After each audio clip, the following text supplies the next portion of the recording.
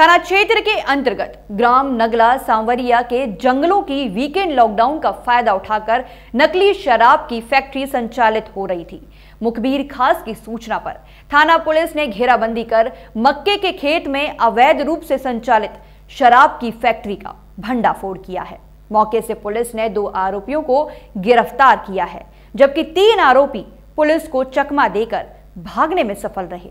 Weekend lockdown में शराब की तस्करी करने वाले माफियों के हौसले लगातार बुलंद हो रहे हैं। शराब माफिया ज़्यादा दाम कमाने के एवज में दूसरे राज्यों से शराब लाकर ताजनगरी में खपाने का काम कर रहे हैं। ऐसा ही एक मामला बीते दिन थाना अछनेरा का सामने आया था, जहाँ किरावली चौकी के अंतर्गत गाँव नगला सावरिया में मक्के के खेत में अवैध रूप से शराब की फैक्ट्री संचालित हो रही थी। मुखबिर खास की सूचना पर थाना पुलिस ने शराब फैक्ट्री पर छापामार कार्रवाई की। छापामार कार्रवाई से शराब तस्करों में अफरा तफरी मच गई। मौके से पुलिस ने दो आरोपियों को हिरासत में लिया है और उनसे नकली शराब बनाने के उपकरण भारी मात्रा में बरामद हुए हैं, जबकि तीन आरोपी पुलिस को चकमा देकर भागने में सफल रहे।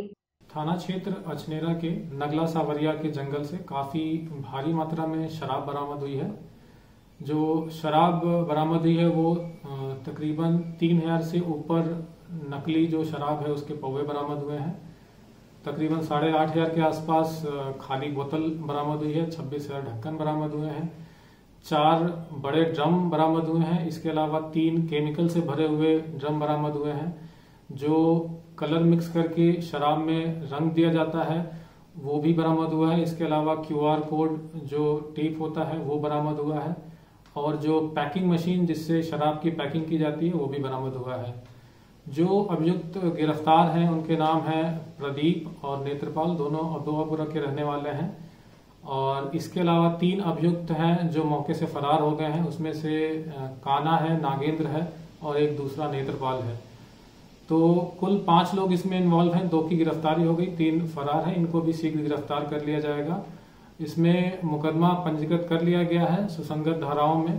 और जो अभियुक्त गिरफ़्तार है उनसे पूछताछ की जा रही है। पूछताछ के, के बाद आगे की विधिक कार्रवाई अमल में लाई जाएगी। एसपी बेस्ट ने बताया कि मुखबिर खास की सूचना पर अवैध रूप से संचालित फैक्ट्री का पुलिस ने भांडाफोड़ किया है जिनके पास से लगभग तीन हज़ार लीटर शराब देशी शराब के खाली पौए एवं ढक्कन भारी मात्रा में बरामद किए हैं। फ़िलहाल पुलिस तीनों आरोपियों की गिरफ्तारी में जुट गई है।